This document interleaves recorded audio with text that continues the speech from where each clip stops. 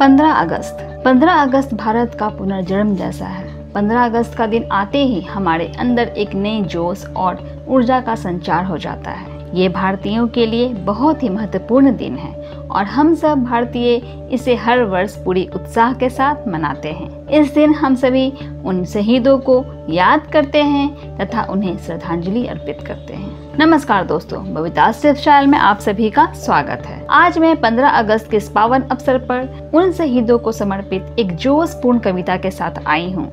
इसे आप पूरा अवश्य सुने। उम्मीद है आप ये कविता को पसंद करेंगे। तो लाइक करने के साथ साथ इसे दोस्तों के साथ शेयर भी करें। और सबसे महत्वपूर्ण बात दोस्तों, अगर आपने अभी तक मेरे चैनल को सब्सक्राइब नहीं किया है तो प्लीज़ प्लीज़ चैनल को सब्सक्राइब ज़रूर कर लें, ताकि मेरी वीडियोस आप तक आसानी से पहुँच सके। वो कविता है, आपसी कलह के कारण से। आपसी कलह के कारण से बरसों पहले परतंत्र हुआ।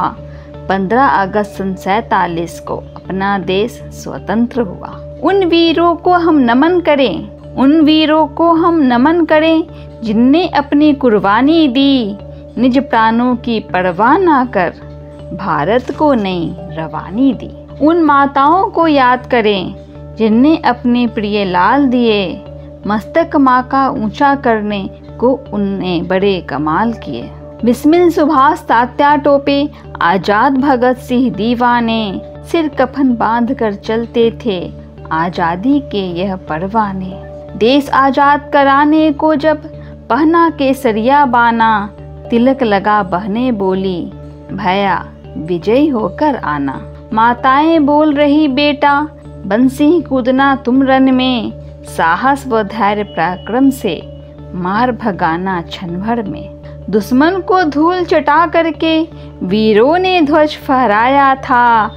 जाबाजी से पा विजय श्री जाबाजी से पा विजय श्री भारत आज़ाद कराया था।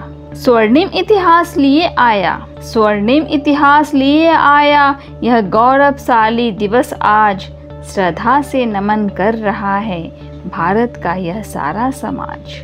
जय हिंद हमारे वीरों का सबसे सशक्त शुभ मंत्र हुआ।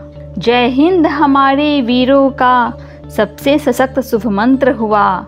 15 अगस्त सन सैतालीस को अपना देश स्वतंत्र हुआ।